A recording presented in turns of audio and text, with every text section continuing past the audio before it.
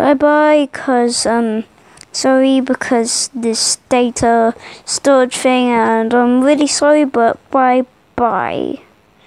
And uh, this is voiceover over, so bye. If anything changes, sorry.